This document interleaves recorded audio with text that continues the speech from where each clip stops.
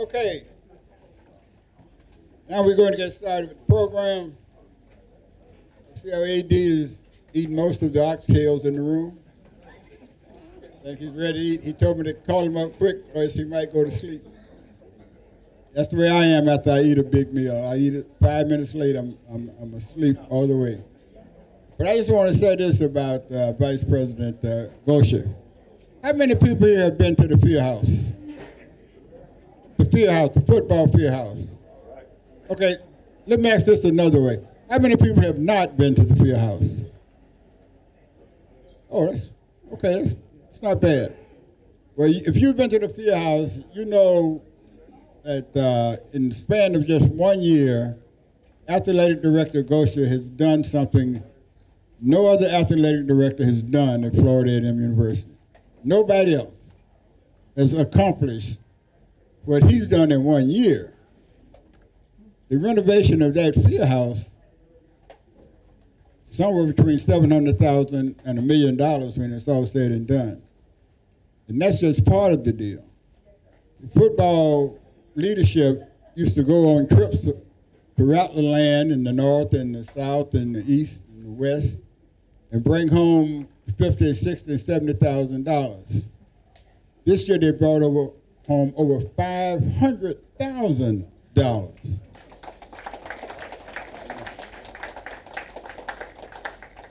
This this guy is something special. We got to keep him happy now. want him to be happy. We want Coach Simmons to be happy.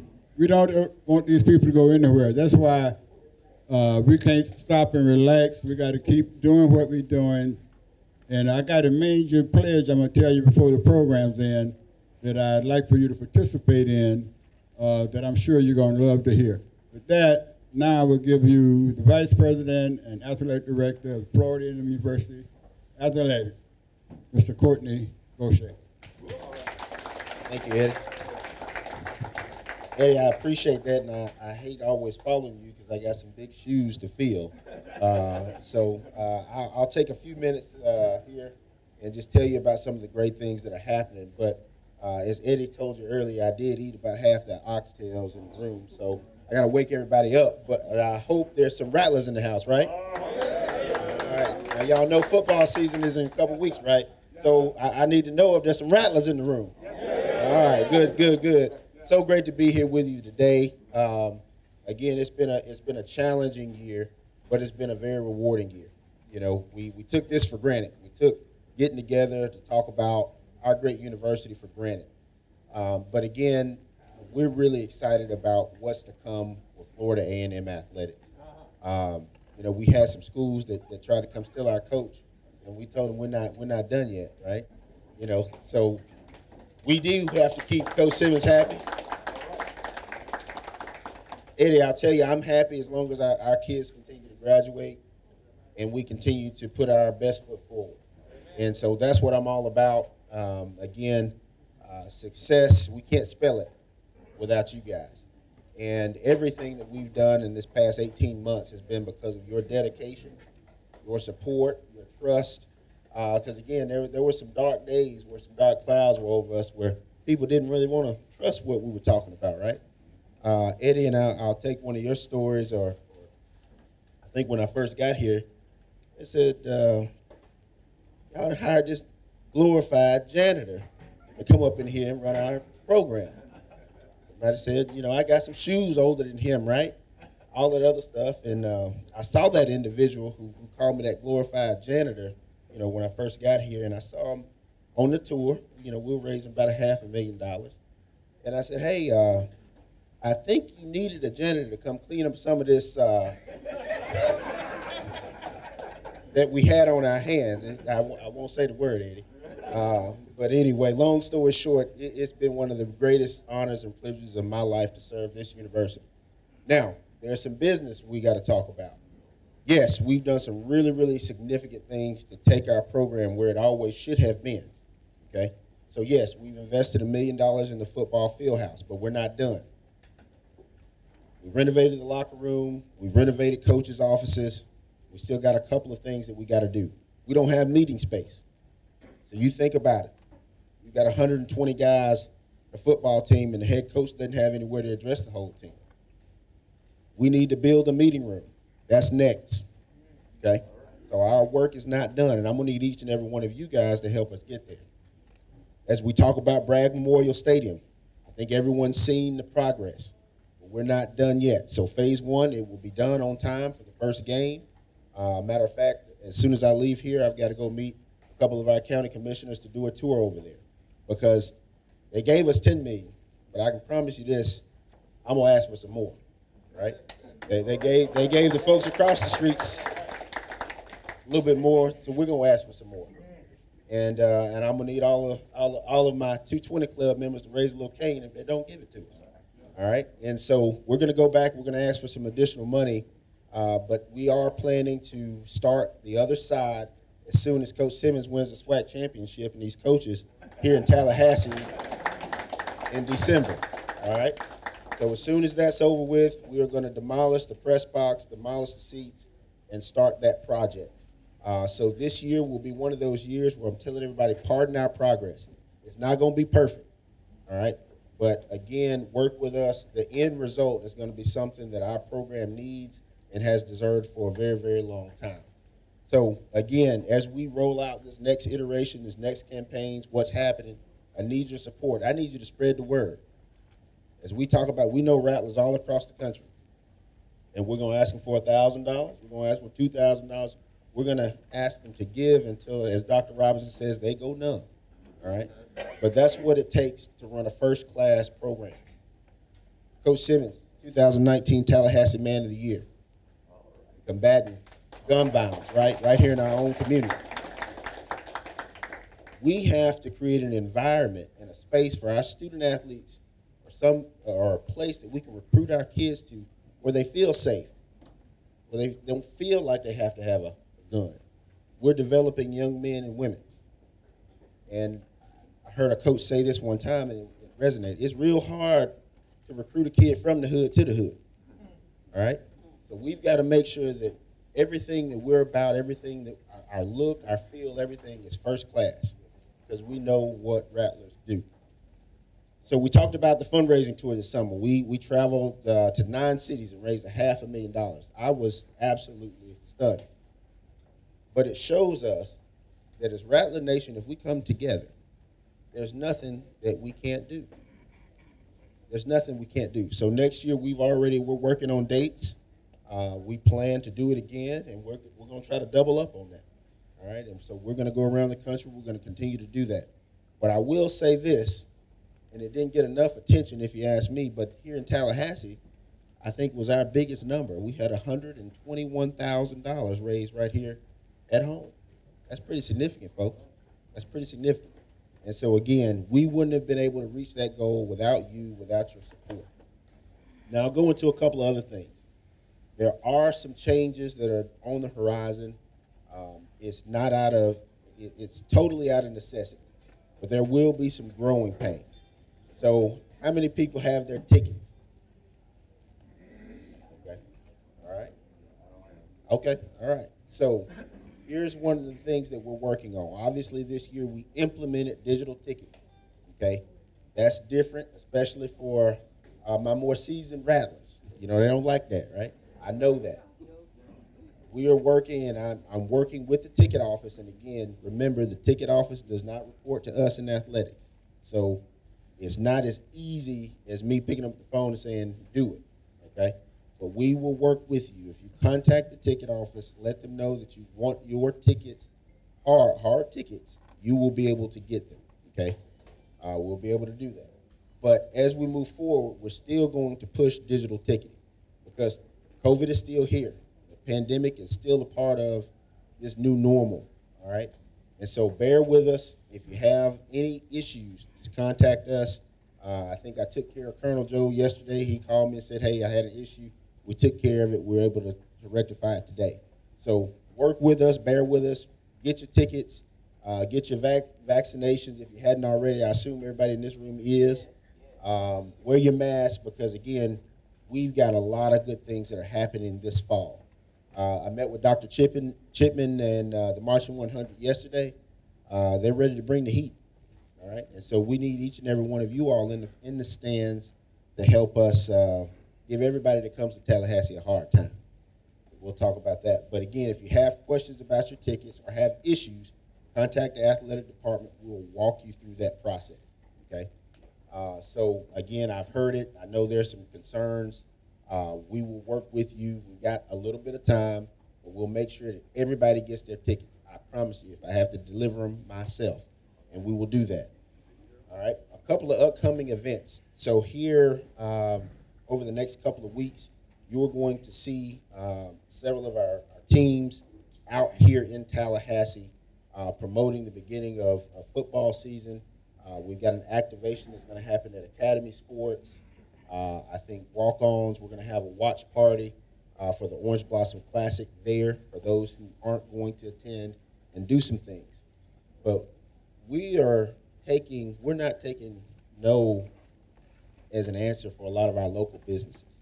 Okay, and so privately and publicly, we've been out here in Tallahassee pushing people to say, hey, we see you got a sign over there, but you don't have one over here. All right? And so here over the next month or so, we're going to be real public about that. We are going to push and make sure that everybody in Tallahassee knows what businesses support Florida A&M. And then we're also going to be very public about those who don't. All right? All right? So as we do that, word of mouth is is uh, is real strong here in Tallahassee. I found out. But again, we're not going to take no for an answer. We spend our dollars just like everybody else does. Florida A&M football has a $30 million economic impact to this city and this county every year. All right? And so, again, our kids are going to have a, an experience that's second to none. Our coaches are going to have the resources to go recruit the best kids. Now, I'll thank the 220 Club for your campaign around sports nutrition. You guys have made such a significant difference. I think over the past year, Coach Simmons, all these coaches, we've seen student athletes' bodies change drastically. And it's because they're eating right, they're healthy, and that is solely because of the 220 Club, your commitment, your dedication to support these young men and women. Okay? And so thank you, thank you, thank you. Continue to do that. Um, as Eddie said, there's nothing that we can't do together. Sometimes we got to talk about who's doing what in the approach, but we're going to get there. And so, um, really, really excited about the direction and the support from the 220 Club, um, and really the direction of our, our, our athletic program. The SWAC has no idea what's really about to happen to it. Uh, but that's okay. That's okay. I think what did they they had us pick what third coach? Second, second, third. Both of them are wrong. All right, but that's okay. We we we will we'll take care of that uh, later on in the year. But we can't do it without y'all. So need you in the stands. I need you tailgating. Uh, obviously, we're going to do that in a safe manner. We want to take care of everybody. If you can, if you feel safe, we need you in Miami to start this thing off right for those who are coming. Um, and again, I can't tell you how much we appreciate your support and your dedication about what's to come. Uh, outside of football, there's a couple other things that are happening with this move to the SWAC. Um, we are we just signed a, a, consortium or a deal with some other Power Five conferences. You're going to see Power Five institutions come to Tallahassee and play at our place, right? Never been done before, all right? And so when they do show up, I need you guys to show up and show out like we normally do, right? And so there's going to be some exciting things happening. Um, again, I, I, can't tell you how much I'm so proud of our student athletes getting through last year. This testing stuff, getting vaccinated is not easy for them. I mean, I, I think our student athletes are testing every day. That's a commitment in itself. And so we'll continue to do that. All these coaches have, have sacrificed a lot of things that people don't realize. But your investment, your support has allowed us to beef up our coaching staff. Uh, some of them here today. Um, we, how many people know what a director of football operations is? Okay, all right, very good. That's probably one of the most important roles in a football program because there's so many administrative duties that the head coach can't get to. One person. He's got to worry about calling plays, chasing knuckleheads down to go to class, making sure they got the classes, talking to mama, uh, recruiting the next iteration, uh, you know, donor engagement, all those other type things. But the people that really make the execution happen behind the scenes is, is a director of football operations. We didn't have one. And so, because of your investment and your support, we were able to fully fund one. Uh, Assistant Athletic Director, Mr. Latroy Johnson, here, who's on our staff. Um, so, we welcome him to the Hill. And he is, is really the guy kind of behind Coach Simmons that will be orchestrating and managing day to day operations of our football program. Very, very pivotal role. Championship programs have that, and we have one now. Uh, so, so, very proud of that. Um, we didn't have a running backs coach. So on top of all of those other duties, Coach Simmons was calling plays and being a head coach, but he was also coaching the running backs every day at practice. Okay, and so because of your investment, your commitment, uh, we've been able to hire uh, uh, a running backs coach. Uh, we go way back with Mr. Shane Tucker here at the end of the table, and I'll let Coach introduce him later. But that's because of you all. Um, we've made some some changes, administrative changes with uh, the direction that we're handling our, our athletic equipment and apparel. Um, and Mr. Doug Lipscomb, we're bringing him uh, in as well. And so, again, these are the things that a lot of people don't see on Saturdays. But to get there and to make those things run first class, these people are working behind the scenes. Um, and so, again, can't can't thank you guys enough for your commitment. Um, again, I, I tell people I, I, have a a get to job. I don't have to. I get to do this. I get to serve these student athletes.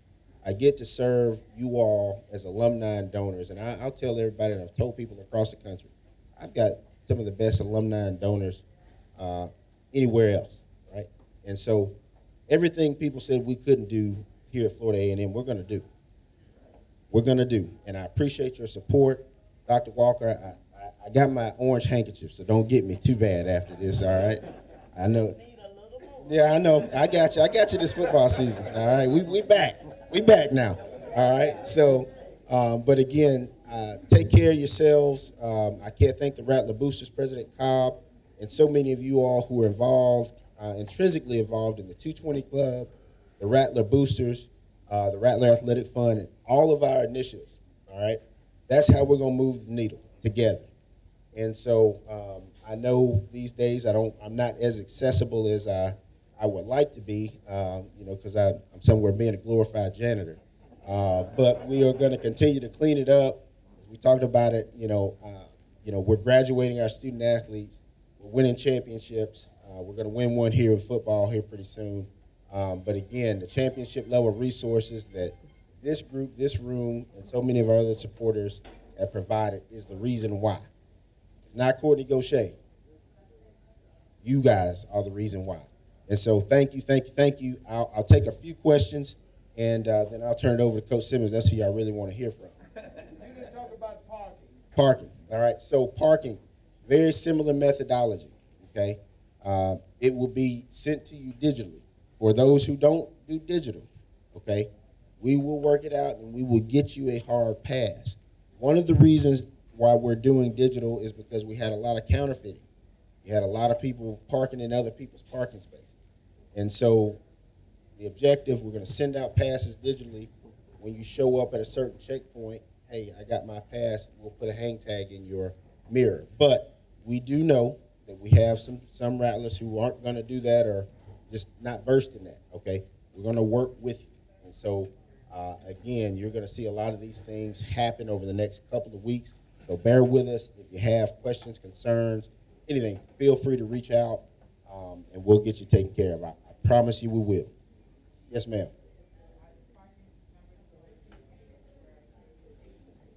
I believe you are asking if parking numbers are going to be repainted. And the answer is yes. Um, if you drive by Bragg Memorial Stadium right now, there's a lot happening. Um, the entire hill where tailgating used to be has now been black surfaced, uh, repainted. It will be fresh, um, and we're going to try to make it as nice as we can. Because again, remember, construction is not totally done. As soon as this, as soon as we get through these four or five games here in Tallahassee, we're going to start construction on the other side. And at that point, we're going to totally redo the entire parking lot. So, so bear with us, but yes, they will be freshly painted. How would it work, uh, the digital, if you got more than one parking place, like if my son and my daughter? So, for an example, and one of the things, the benefits of digital, you'll, if you have more than uh, one parking pass, how will that work digitally? Okay, you will get both of them in your uh, in your Ticketmaster account. Okay, you can pull it up on your phone. You'll see both of them there. There's a button, or you can click to transfer that to anybody you want, and it'll come to their phone just like a text message. Okay, and so you'll have that ability to do that per game. Uh, but again, if if that's a challenge for you, contact us. We'll be getting those out over the next couple of weeks. Yes, ma'am. Director Gosha, um, I don't have anything, um, to put in my hand. I'm an champion. Um, is the uh, Orange Blossom Classic ticket part of that package? Yes, ma'am. And we actually just received those today in the mail. Uh, so over the next couple of days, you'll be contacted. Uh, we'll get you your ticket.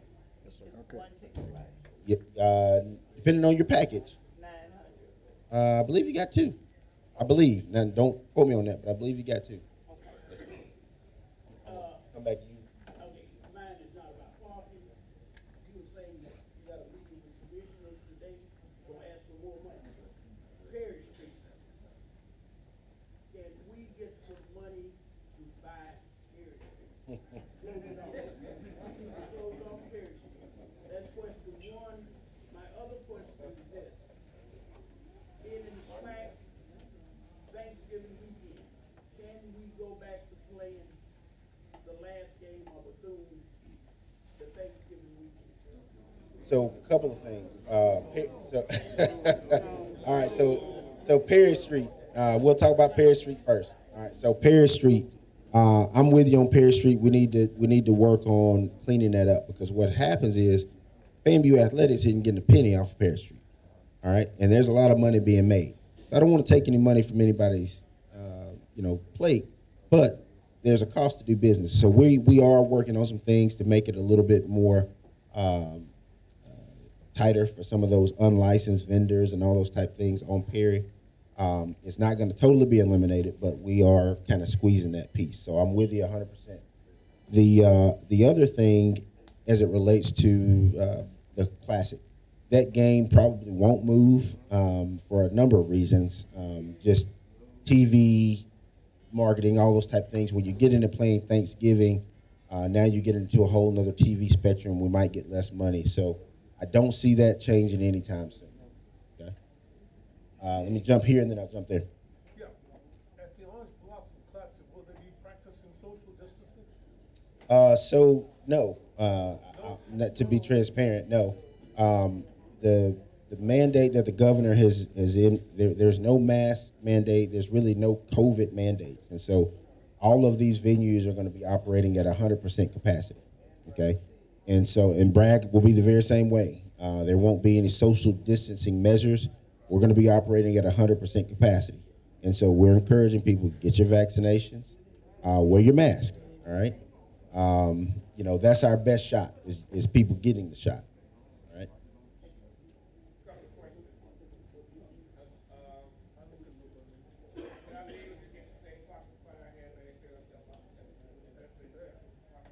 Yes. If if you renew, did you renew in 2020?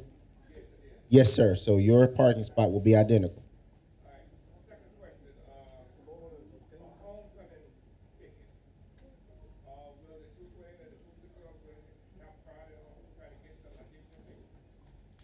I wouldn't necessarily say priority. Uh, all single game tickets went on sale August 1st, and so it's open to the public. Uh, so if you want some and you have a group sale or something like that, we can work with you to get you what you need. Uh, but those went on sale effective August 1st. Single game tickets, including homecoming.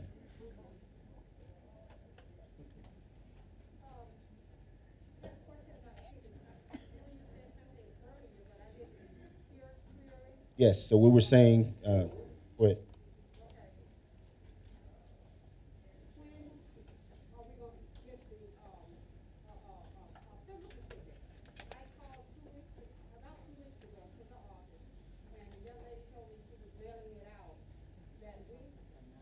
been two weeks now. I have not received them, and that question and then one other question. Um, not in a negative way, but I need to know why are we always late getting out tickets at FAMU? The other people across the track over there, by the end of their football season, they already got their tickets ready. So great point. Couple of things. Um, so first, I'll check on your tickets because two weeks they should have been there by now. So we'll check on that. The second thing, we and I mentioned it earlier, the FAMU box office doesn't report to athletic, so it's not.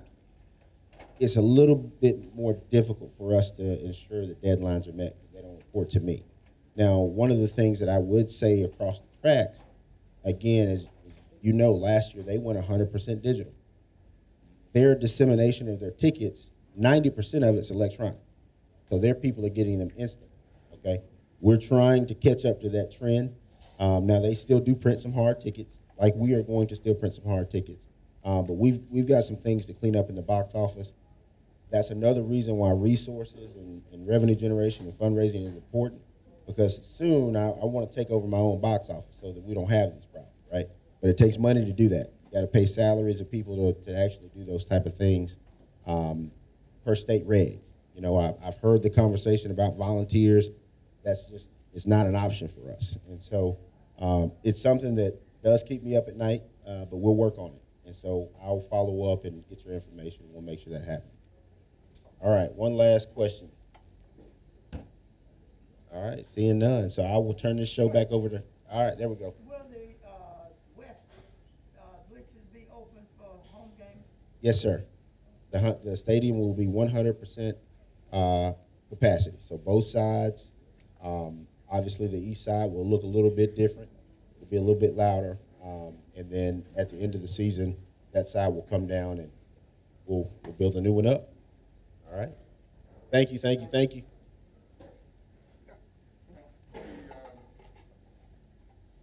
Will the north end zone set up as in previous years?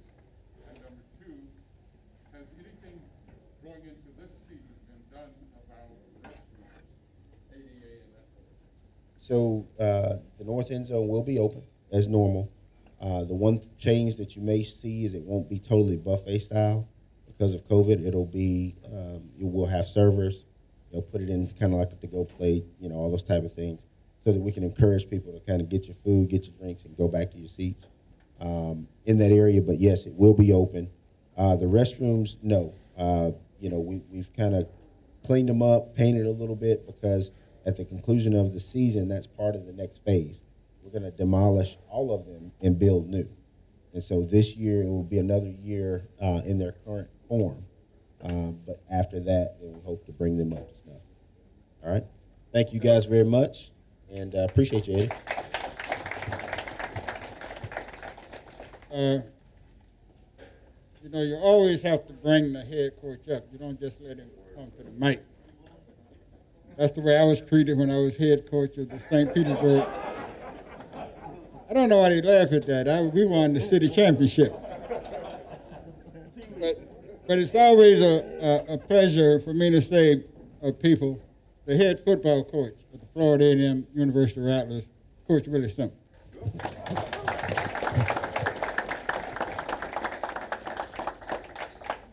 Thank you, Assistant Head Coach.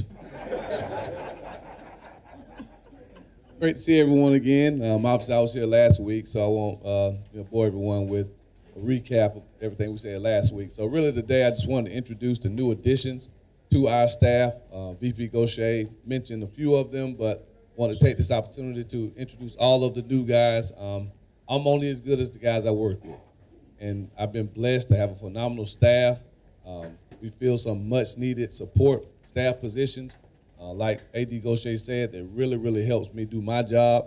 Um, so again, we'll start from the left here, and um, I'll tell a little bit about each of them, and then obviously if you want to ask individually uh, each of those guys, any of those guys' questions, we'll do so here at the end. But all the way down to my far left, um, pass, pass Eddie. Eddie's the first coach, but we'll skip him. Um, Shane Tucker here um, is our newly appointed running backs coach. Um, coach Tucker comes to us from uh, was a player at Middle Tennessee State. stand up a little bit. Uh, was a player at uh, Middle Tennessee State University. Uh, was a highly recruited young man. Um, had a great career there. Uh, transitioned right into coaching after playing. Has done some strength conditioning work. Worked at Austin Peay And then went back to Middle Tennessee State uh, before he came to us as, as a running backs coach. Has been with us now for a little over a month and a half now. Uh, has done a phenomenal job with our running backs. Uh, you've seen those guys, uh, Bishop Bonner has had by far his work, his best camp. Um, DeAndre Francis has you know come in as a true freshman and is going to be a contributor for us. It's a testament to, to Coach Tucker's just tenacity. Um, he's a young guy. He's close to their age. Bishop might be older than Coach Tucker. and um, but he gets out there and runs around with them, does a really really great job, and um, you'll see our run game improve tremendously um, because of the work that Coach Tucker is going to do with those running backs. So um, Shane Tucker. Uh, to his left, uh, VP Gosha already uh, obviously mentioned him. Uh, Latroy Johnson is our director of football operations. Um, Troy and I go back. Yeah, yeah we him a. Uh, Troy and I go back 20 years. Um, I met him back in 2000. Um, when I was at Clemson, he came in. Uh, he's a year behind me at Clemson. We spent uh, three years there together. Uh, once I got hired at Middle Tennessee State, a few months later, he came on as the equipment manager. We lived together for, for a year, uh, but again, have been you know thick as thieves uh, for over 20 years now. And um, we were actually able to steal him away from Jackson State. So not only did he come to help me do my job, he bought some trade secrets with him. And so. And uh, if you ever get a little bit of time, he can give you some prime stories that, that you'll love to hear. Uh, but no, Troy's done a phenomenal job. Has you know, cut his teeth in the equipment room. Um, but again, he's a guy much like VP Gosha, who also started as an equipment manager. Troy actually trained Kortne, uh, you know, if you can believe that. Um, but again, he's a guy that's going to have a, a, great career in administration as well. Very knowledgeable, um, great tenacity, very thorough, and um, came in and like I said, a lot of things were not done. You know, travel wasn't complete, meals, all of those operational things that it takes to run a successful program. Um, Troy's come in and cleaned all of that up in a short uh, period of time. So very, very blessed to have him here, and uh, you'll see a much cleaner operation, um, you know, because he's with us now. Um, next up, Doug Lipscomb. Um, Doug is our Doug is our new head equipment manager. Um, I had a change, had a change in that department. Um, Doug came to us a little over a month ago. Um, again, you think about football camp started three weeks ago, and uh, Doug got here about a week and a half before that. So you can imagine trying to make sure that 110 guys are outfitted with helmets and shoulder pads, you know, and, not, and it's not just as easy as you know, just throwing on a helmet or throwing somebody into a pair of shoulder pads. You have to make sure that these guys are fitted properly. All right, the number one way to prevent concussions is that your helmet fits the right way. The number one way to prevent shoulder injuries, labrums, um, all these different shoulder uh, injuries that, that football players endure is to make sure your shoulder pads fit properly. And uh, Doug had to come in and do that, had to check inventory, make sure that everyone had everything they needed as far as coaches and players um, across the board. So again, very, very important position here, one of the most important ones in our program. From a liability standpoint, the quickest way for us to get in any type of compliance is, uh, trouble is to have something go wrong in the equipment room. And so just his knowledge, his expertise, uh, spent years up at Middle Tennessee State uh, working with the basketball program there. Uh, that's where he met VP Gosha uh, came highly recommended, and um, left his little young child up in Atlanta to come be with us. And so we're very, very honored and blessed to have him here. But he's done a phenomenal job so far, and um, our, our, equipment room is in, is in, great shape now um, under the leadership of Doug Lipscomb. So excited to have him here as well. Uh, the next gentleman to my right here, uh, offensive line coach, co-offensive coordinator Ryan Stanchek. So um, obviously, you know, in the 2019 season, we did a lot of really good things. Um, won a lot of games, put up a lot of points. Uh, one thing we did not do very well is run the football. And so, um, you know, once Coach Jackson transitioned on, uh, I was tasked with finding a run. Um, I'm sorry, no line coach who could come in and take our run game to the next level. Well, unfortunately for Coach Stanchek, fortunately for us, the head coach of Southern Miss, who we worked under, had just gotten let go. And so coach was kind of in, you know, in that position that none of us want to really be in, kind of between jobs, looking for what's next. You know, had some great opportunities, um, but Coach and I worked together back in 2014 at Alcorn State. And that year, we averaged about 300 yards rushing a game and won a national championship there at Alcorn State. So, um, again, because of our relationship, because of uh, the ability to go back to being a coordinator, he became the coordinator at Alcorn State two years after I left, three years after I left. And so for him to get the coordinator title back, you know, under his name and to come work for someone who he's familiar with uh, was something that really was a blessing to me. And um, again, I've seen a tremendous um, change in the offensive line, just the way they approach the run game, uh, the way they approach learning football. Uh, Keenan Forbes, um, who's a senior offensive lineman, one of our pro prospects, uh, who scouts come by and see every day, made the comment just a few days ago to our freshmen that this is the first year that he's learned football, that he's actually been taught more than his, just his assignment, right? So for us in football, running a play, it's, it's about the what's. You have to know what to do and how to do it. Well, pretty much every coach teaches the guys that, okay? What steps to take, who you're supposed to block, what route you're supposed to run, all of those things. Well, the next phase is the why. Why am I asking you to do this thing this way? And then what is the defense trying to do to take advantage of, to try to stop us? And if I know that, then I have a better chance of knowing what's coming so that I can, you know, defend it. And that's what coach is teaching the offensive linemen now. He's teaching them about coverages. He's teaching them about different fronts. He's teaching them about different pressure looks so that they can anticipate what's coming. And that's very, very important when it comes to the offensive line. And so just the knowledge that he brings, the experience that he brings, the expertise that he brings as an, as an offensive line coach who's played under and, and coached with some of the best ones out there, but also a guy who played at a high level, was a three-time All-American at West Virginia, um, had a brief stint in the NFL, but just brings everything that you look for in an offensive line coach and play caller to the table. So he and Coach Black work extremely well together. It helped me out tremendously in game planning. And you'll see a football team this year, especially up front, that plays with a lot more tenacity than we played with in the past. And so, very, very blessed to have Coach Ryan Stanchek here with us as co-OC, co-OC offensive line coach. And then last but certainly not least, um, Coach Milton Patterson is our new de defensive line coach. So the only change we had on the defensive side last year was obviously Coach Street moving on to Marshall. Um, Coach Street was the defensive coordinator, but he also coached the defensive line. And so we promoted from within on the defensive side, promoting linebackers coach Ryan Smith and safeties coach Brandon Sharp, the co-coordinators. So we had to fill the defensive line spot. Uh, we interviewed eight eight individuals, and went through a thorough uh, process. Uh, took about a week and a half to, to get through all the interviews and you know, at the end, we ranked all of the each, each coach, all four defensive coaches and myself. Um, we all ranked the guys, the, the, the, people that we interviewed, and coach was the only one of the eight who finished in everyone's top three. He was the only one, and so uh, Coach Patterson brings coordinator experience. He was previously the defensive coordinator at Fayetteville State. Uh, he was a coordinator at Clark Atlanta. Um, he's been co-defensive coordinator at Mississippi Valley State, and um, actually cut his teeth, started out in the profession at his alma mater. Don't hold it against him, Jackson State. So, um, but we know where his loyalty lies and where, where he'll be on September 5th. But uh, like they tell us, we're loyal to who pays us, and uh, you pays him, so he's gonna be he's bleeding orange and green right now. and, uh, but coach is a very very tena- uh, tenacious football coach.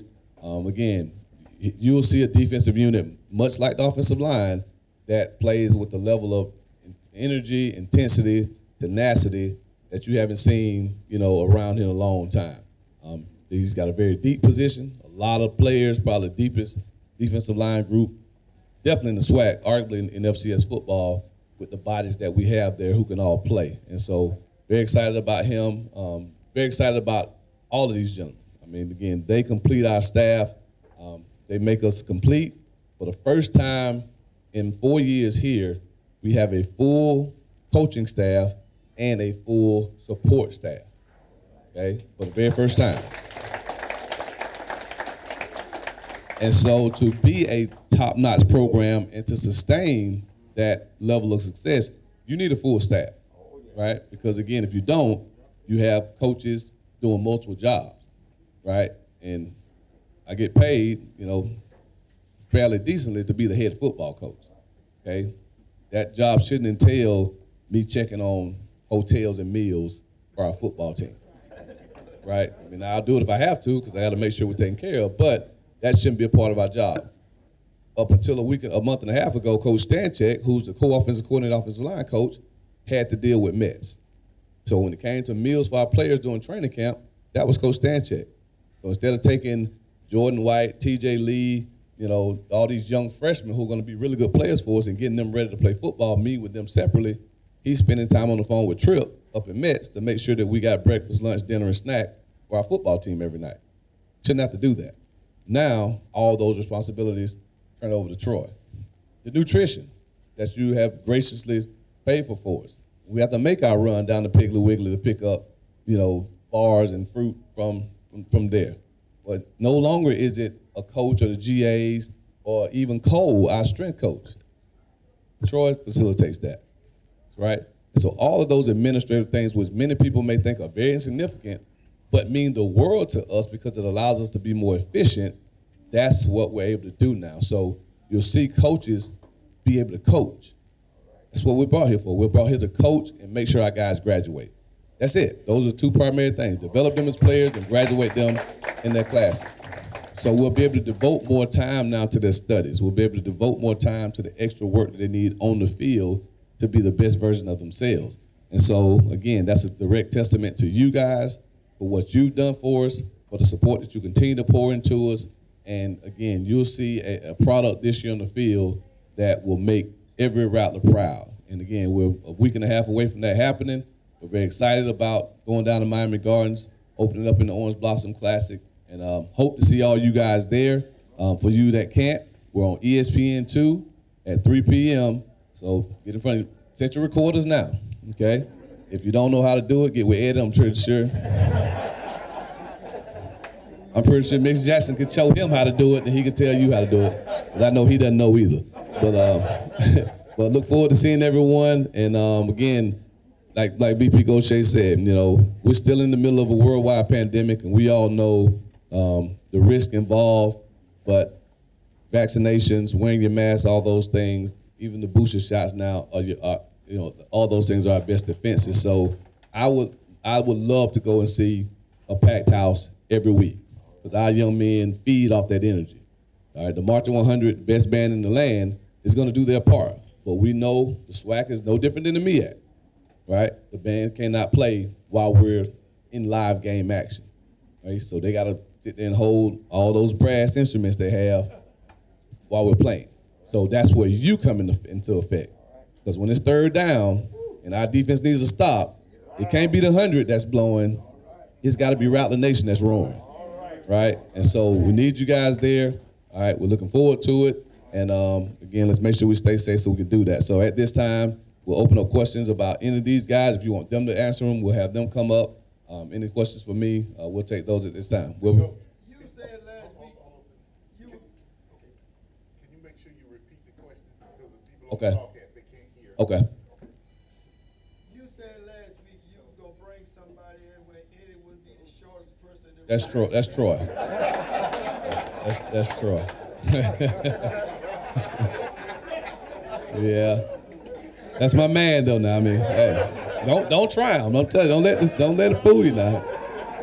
We, got a little Memphis story that we tell sometimes where y'all almost didn't get to see Coach Simmons because Troy got us whooped in Memphis at the club. The two of us, he gonna take on the club. Like, no, we're not doing that. No, we got to get back to Murfreesboro. So he's a tough one. You have the offensive coordinator. You, He's gonna repeat the question. yeah. And then you got your, uh, your quarterback coach. hmm How do you three work together?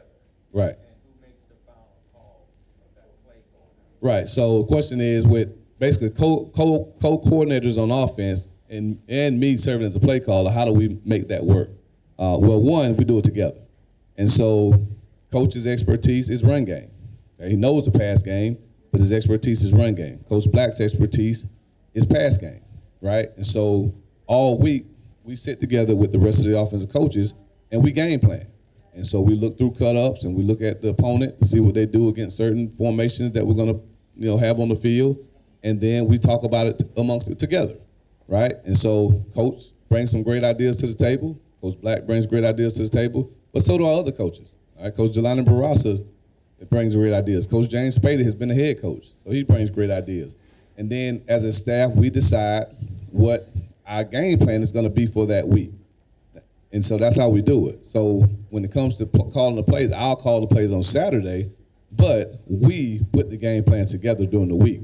And then Coach Black calls most of the most of the uh, plays during practice, which allows me to be freed up as a head coach to kind of roam around the field. Coach Stanchek has you know 16 guys, offensive linemen, so he's spending most of his time making sure that those guys know what's going on. But everyone's heavily involved, and so obviously their opinions, Coach Stanchek, Coach Black's, kind of take a little bit more precedent than Coach Spade and Coach Barasas.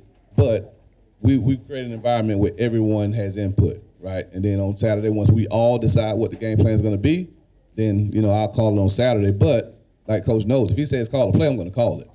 You know, Coach Black says call this play, I'm going to call it, and that's just how it is. And so um, I've worked with Coach before. I've worked with Coach Black for many years, and now that they're working together, they they feed off each other tremendously. And so it's a it's a great trinity, so to speak, uh, with all of us who all have great offensive minds working together. So I think you'll see a much more explosive offense than you've seen even, even in the past. Okay, going into the SWAC, I've watched a number of teams in the SWAC. Uh, some of those teams, the top tier teams in the SWAC have some outstanding place kickers. How are we gonna stack up? Y'all hear Ali is gone, so, um, how are we gonna look in the kicking game? Right. So um, kicking kicking game, particularly place kicking. Well, the, the best way to prevent a team who has a great place kicker is not let them take the field. So defensively, with Coach Patterson's help, we'll stop people. If they don't score, they don't line up to kick. If they don't score, they don't line up to kick a, a, a extra point. If they don't get in field goal range, they can't kick a field goal. So we want to make sure that their punter gets the most work during the game, right? That's the goal. And so defensively, um, I have no doubt in my mind that we'll have one of, if not the top defenses in the conference, particularly even in the country, because of what I what we go against every single day. And um, but you know, if, if there's a stronger special teams unit in the SWAC, I like to see it. I like to see them. I mean, I don't think any of them can claim a punter who's finished first in the country and second in the country in punting, right? With the return guys we have, Xavier Smith, K. Dot, Jamar Shareed, Day Oxendine, Bishop Bonner, DeAndre Francis. If them, if somebody can line up better returners, I'd like to see it. And then we got we got some we got a special surprise at kicker, so don't worry, we'll be fine in the kicking game. Yeah, we'll be just just fine. Hey, Coach, yeah, that was the, the offensive line coach used to be running the ball. I love that because you're physical when you're doing that. And uh, I, I just, I like you to have 300 yards per, per game. Boy, that means we don't be physical up front.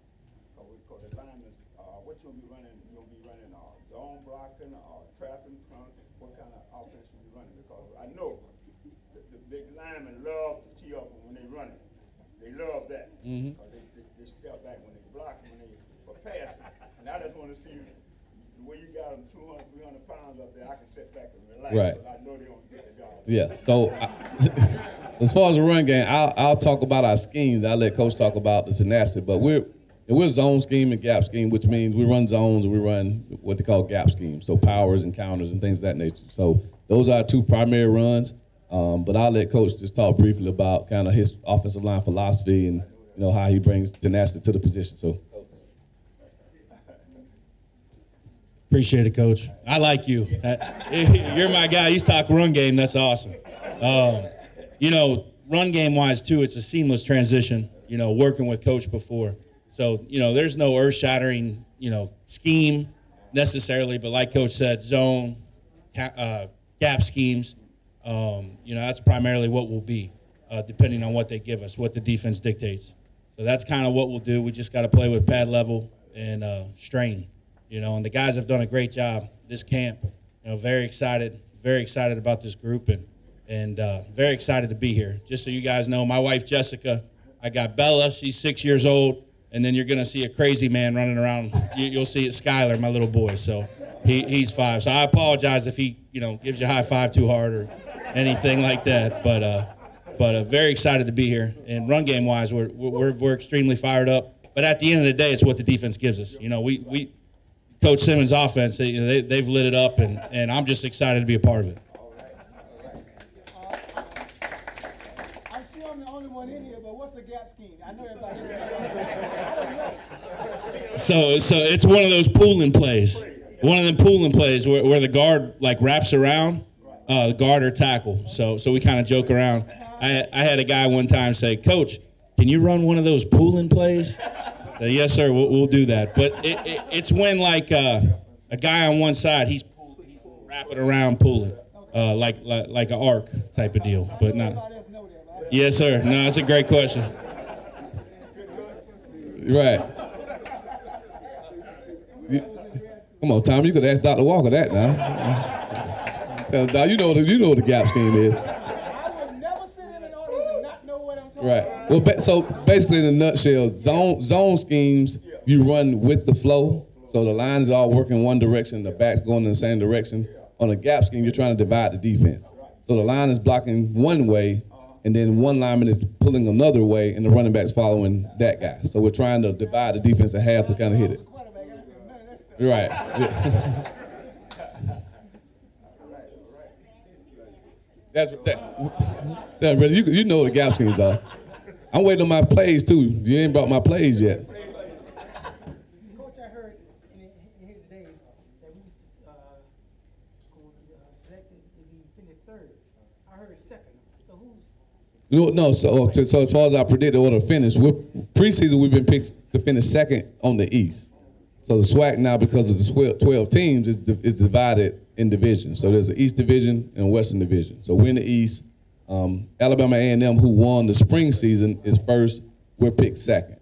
On the West, Alcorn is picked to win the West. And so um, they didn't do a necessary order of finish from 1 to 12. Um, so we're second, the, the preseason East. We're third in overall preseason rankings among HBCUs behind Alabama A&M and, and A&T. And so we're third overall. Okay, one other question. Uh, the young man that transferred, Zim, Zim Ray, I believe it was, Mhm. to Georgia Tech. hmm Did he leave here because he used to be so deep in it? Um, you know, Zende, um, I think Zende left for, for a number of reasons. Um, one, he's gotten his degree from FAMU, which is first and foremost. That's, that's priority number one. Um, so he served his purpose by coming to Florida A&M and getting a degree from the top institution in America. So he's done that. Um, two, Zende has a younger brother who starts at safety for Georgia Tech. He's got a, the youngest brother is a rising is a senior who's one of the top 15 players in the state of Florida, top 100 in the country. And so obviously Georgia Tech, being smart, which is smart, says, okay, well maybe we can get a package deal. So let's bring Azende in. I got two brothers on the team. We probably can get the third one as well. And so I think the, the fact that you know he's graduated, he can play his last year with his with his brother, um, and the fact that we are very deep at wide receiver, and he as a senior maybe didn't see his role being maybe as big as he would have liked. And so I think a combination of things, but you know, I, I and I was, were texting last week. Um, still great relationship. He's a rattler. Will always be a rattler. Loves this place. Has a ton of respect for you know for his brothers and for the what he's gone through over the last four years. Um, you know, but again, it, it, he served his time. He did what he what he came here to do, and you know he's going to take his chances at at a Power Five school to see if it can propel him to his ultimate goal, which is you know obviously playing professional football. But you know we wish his in there the best. I'll be watching every chance I get. Uh, because when he looks good, it, it makes us look good too. To know that a player coming from FAMU and HBCU can go to a Power Five school and have uh, a huge impact as well. So I hope he's ACC Player of the Year this year. Yes, Coach. Um, I know you said that you were going to be making a decision about the starting quarterback this week. Were you saving it for this forum right here to tell us? It's funny. I was over at uh, Florida State last night, and Coach Norvell. That first question is well, well, he before he even started, he was like, "Any questions?" But if it's about quarterback, then no, we ain't gonna answer that one tonight. Um, so right now we're, we're, we're, we're basically in a in a two man race um, for the quarterback spot, and so as a staff, today's Wednesday. We'll, we'll probably take it until probably Thursday, Friday. Um, right now, Rasean is battling a little slight kind of not injury, but it's you know he's got some little things that's keeping him from practicing the whole practice. And so, to be fair to him, we want him to get back fully healthy, which will be today or tomorrow, and then be able to make that determination of who we feel will take the first snap. Like I said, whoever takes the first snap, they're not guaranteed to take the third, right? I mean, we have three guys who we feel really good about, and it's conceivable that all three may see the field at some point, um, whether it be September 5th or sometime this season. Can we say who those three are? Uh, right now, it's between Rasean McKay, Cameron Sapp, and uh, Junior Maritovic.